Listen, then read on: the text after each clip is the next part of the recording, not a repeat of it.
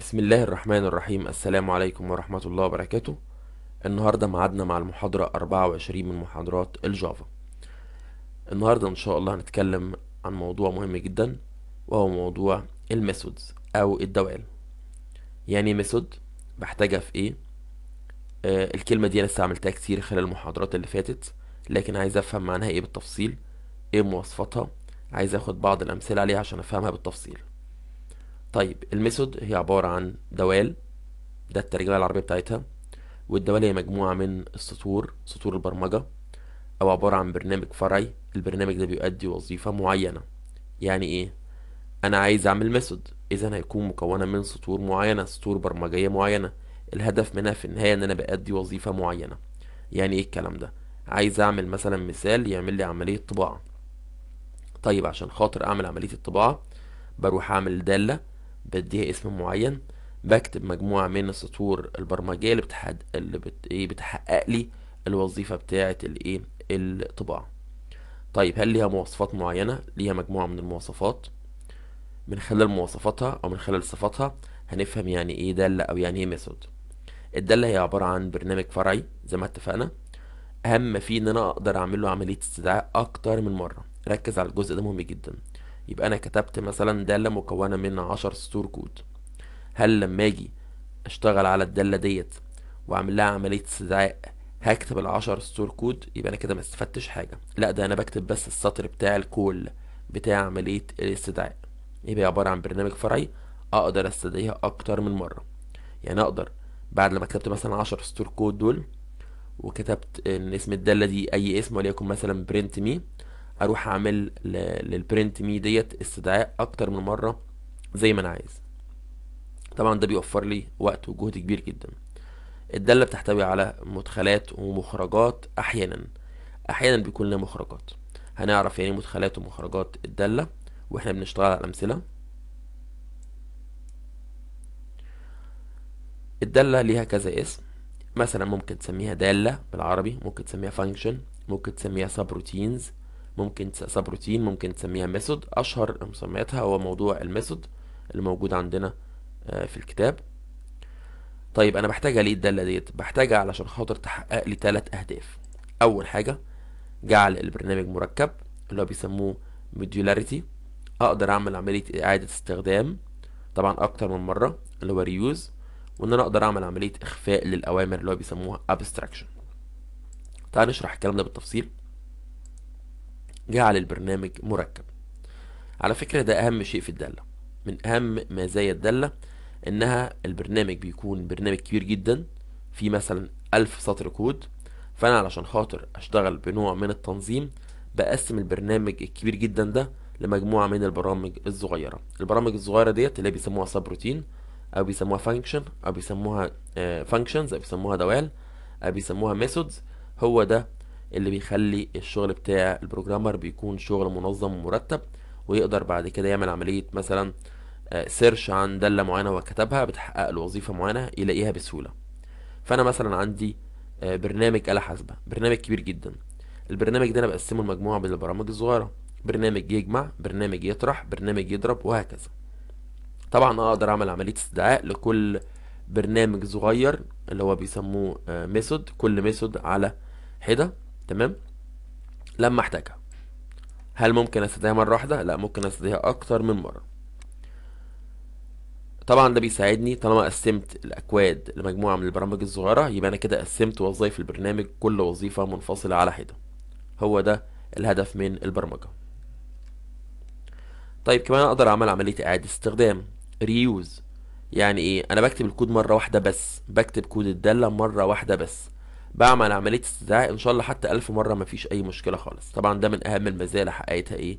ال methods. رقم ثلاثة موضوع إخفاء الأوامر. ده موضوع مهم جدا.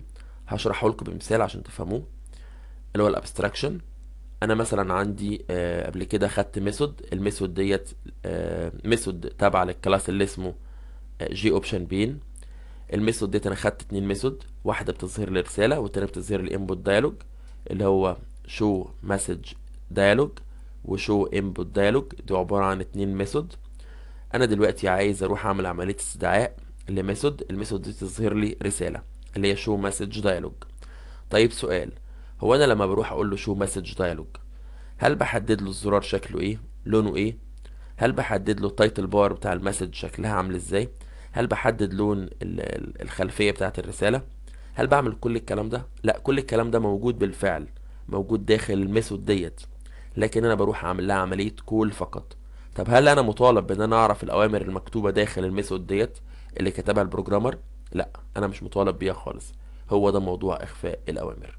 يبقى أنا مش محتاج أروح أعرف إيه هي الأوامر أو الأكواد المكونة المكونة لل method الخاصة بال show message آه زي مثلا آه لون الزرار حجم الزرار بتاع ال message زي لون ال title bar حجم الرسالة هتكون قد إيه آه مكانها آه مكانها طبعا بالنسبة للشاشة ال size بتاعها قد إيه طول في عرض الكلام ده كله.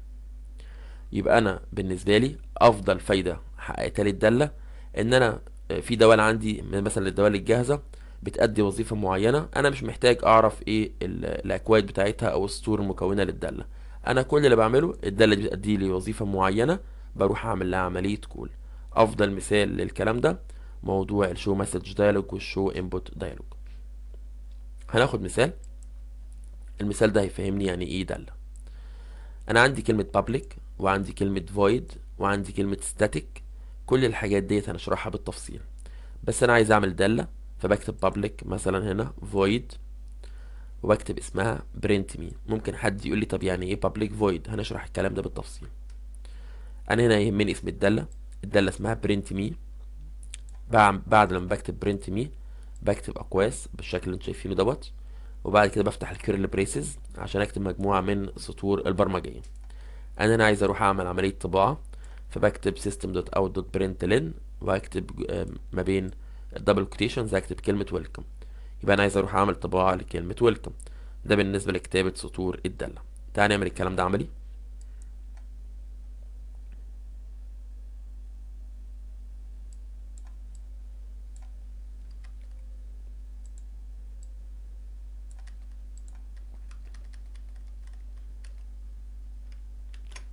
أنا عندي برنامج النت بينز فاضي خالص هو مفيهوش أي حاجة خالص. علشان خاطر أشتغل هاجي هنا. أنا هنا ده بالنسبة لي هو ال main class بتاعي. ده ال main class ودي ال methods بتاعتي اللي اسمها main method. طبعا ال class ده انت ممكن تسميه أي اسم تمام؟ زي ما اتفقنا قبل كده بسميه مثلا أي اسم. وبخلي كمان اسم الملف اللي هو مثلا أنا هنا عندي main وهنا عندي اسم ملف main dot java. فمثلا لو خليت ال class ده سميته شريف يبقى لازم أكون شغال على شريف dot java. ده بالنسبة لل class.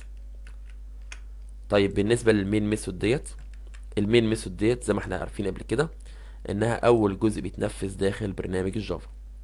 طبعا هبعد عنه خالص هنزل تحت كده وهيجي هنا في الجزء داخل طبعا ال class. هروح أعمل إيه؟ آه method جديدة. هقول له public void وقلنا هنعرفهم يعني إيه public ويعني void ويعني static كل الكلام ده هنعرفوه هقول له public void ويروح يعمل لي method ال method دي اسمها print print me. هروح افتح اقواس فاضية كده وبعد كده أروح افتح curly braces عشان اكتب سطور البرمجة بتاعتي. هقول له system dot out dot print println عايزك تروح تطبع لي كلمة welcome. أنا كده كتبت مجموعة سطور البرمجية الخاصة بال method اللي اسمها print me. مفيش أي مشكلة خالص. طب عايز أروح أعمل call للدالة ديت. عايز أروح اعمل call للدالة دي. هنفترض مثلا الدالة دي مكونة من أكتر من سطر. يعني خليه مثلا كلمة welcome وبعد كده أقول له مثلا شريف.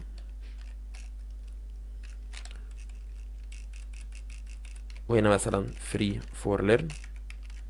أنا عندي كام سطر برمجي؟ عندي ثلاث سطور داخل إيه؟ الدالة ديت. طب أنا دلوقتي عايز أروح اعمل عملية طباعة لكلمة welcome وشريف و free for learn هل هل أروح أكتبهم تاني؟ يعني هل أجي كده آخد الكلام ده كده copy paste أنا طبعا عشان خاطر أعمل الكلام ده بروح داخل ال main method بتاعتي وأروح اعمل المنظر ده. هل كده ينفع؟ يبقى أنا كده ما حققتش أي هدف من أهداف الدالة خالص. أمال أنت بتعمل إيه؟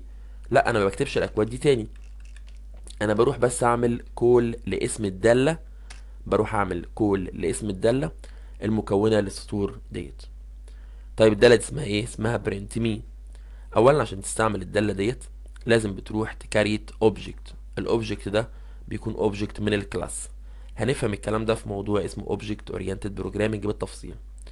طب بتعمل الكلام ده إزاي؟ بقول له مين ده اسم ال class بتاعي اسمه Main وال M capital زي ما أنتم شايفين. Main واكتب مثلا أي اسم وليكن مثلا هنسمي ال object ده هنسميه حرف ال M يبقى Main M equal new Main بالمنظر اللي أنتوا شايفينه كده. يبقى أنا كده create create إيه؟ object من ال class اللي اسمه Main من الفصيلة اللي اسمها Main بعد كده أقدر بقى اشتغل داخل الايه ال method ديت أروح اعمل لها عملية call أروح اعمل لها عملية call إزاي؟ هي ال method دي مش member من ال class الرئيسي اللي اسمه Main آه يبقى هتقول له M اللي هو ال class اللي اسمه Main dot وأروح ادور على اسم ال method دي اسمها إيه؟ اسمها print اسمها print me هو ده كل الموضوع. هقول له M dot print me طب عايز أروح أعمل لها عملية call تانية؟ هقول له M dot print me وهكذا. يبقى أنا كده أعمل لها عملية استدعاء مرتين وبسهولة جدا. في المرة الواحدة هيروح يطبع لي كام سطر؟ هيروح يطبع لي ثلاث سطور. تمام؟ أروح أشغل البرنامج طبع لي welcome شريف free for learn welcome شريف free for learn أظن كونك تكتب سطر واحد كود بيوفر لك ثلاث سطور هو ده الهدف من البرمجة. وبكده يكون انتهى سطرنا وبكده يكون انتهى درسنا النهارده. السلام عليكم ورحمة الله وبركاته.